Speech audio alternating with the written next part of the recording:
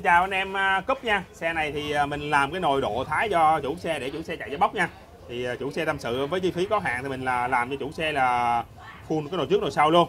Thì sẵn đây cho anh em coi tham khảo ha. Thì cái chuông nồi chủ xe nó bị là mỏng hết rồi nè. Đó, mình tâm sự với em đó thì thay cái chuông mới cho nó dày cho nó ngon nha.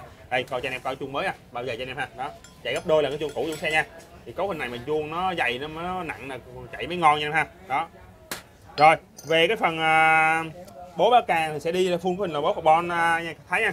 Thì cái xe này là thì mình đi là có hình là bố mới nha. Bây giờ là xài bố carbon nha. Bố này là bây giờ là hiện tại là biết bây giờ và ngon nhất bây giờ nha. Đó anh em coi là bố là ba bố nè. Một hai ba chơi carbon luôn nha. Giống xe tay ga luôn nha anh em. Rồi về cái phần cái à, nồi sau á, là mình sẽ thay chủ xe là full bố nồi sắt nồi thái. Thì quay lại cho anh em coi lại cái bố nồi sắt nồi cũ á. Nó bị là mòn chai rồi lại đi sắt lô nha. Mình không thích sắt lô mình đi sắt thích rin thái thôi. Đó. Đi chủ xe là full có hình bộ mới luôn. Đây đây anh em coi nè. Anh em coi xe sắt này đó đã không đẹp không anh em ha. Chắc là mình à, lỗ đều cho anh em nha. Một hai ba ha. Đó trước sau như một cho anh em luôn. Đi full à, bố thái bản rất là mình cho anh em ha. Bốn cái nha một hai ba bốn nha. Bố này bản rất là bự và mặt rất là mình nha. À, lò xo thì chơi full đủ xe là một bộ lò xo nồi mới luôn. Bốn cái lò xo nồi mới nha. Đó lò xo này thì có độ đàn hồi chúng này rất là tốt để cho anh em chạy bắt đầu quýt nha. Bao bền cho anh em. Rồi chúng nữa giờ mình sẽ tiến hành đáp đáp vô. Anh em theo dõi nha. Chút nữa mình sẽ test xe cho anh em luôn. Rồi chào anh em à, uh, tiktoker nha rồi xin chào anh em à, cúp nha. Sư phụ đã tiến hành à, ráp à, cái nồi quay lại cho anh em tham khảo luôn. Thì cấu hình nó gồm là bốn bố và ba sắt nha và bốn lò xo. Thì anh em nhớ cho bố vào trước nha tới sắt ha. Thì cấu hình nó là một bố một sắt. À, hai ngoài là sắt nha à, hai ngoài là bố rồi tới là sắt ha. Đó. Tiến hành là cho bốn lò so vô. Bốn lò so thì anh em cho cái chiều lớn nằm dưới còn chiều nhỏ nằm trên nha. Và tiến hành cho cái nồi sâu với lại chuông nồi vào trước nha anh em. Đó để cho lòng đền à, nồi sâu vô. Tới tán nồi nha.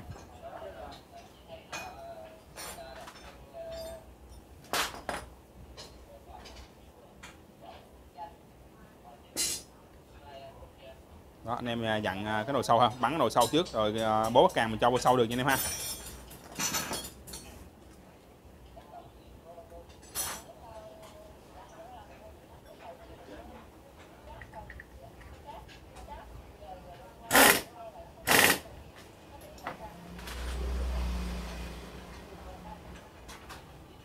Rồi tiến hành à, kiểm tra cái à, lỗ bơm nhớt của thằng à, của bác càng luôn.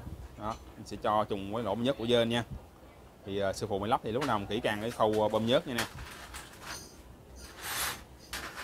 Rồi mình bắn đầu trước nha. Bắn đầu trước mình lắc kê cái lồng đền chặn phe nha. Đó thì sư phụ mình đang kiểm tra cái chuông nồi. Giờ lắc kê này anh em ha. Thì em bắn cái đầu trước thì xong anh em nhớ lắc kê cái lồng đền chặn phe này nha cho nó khỏi nó quơ nhớt của anh em ha. Đó nó quơ nhớt là nó không có bơm nhớt vô dên là lớp B nha anh em.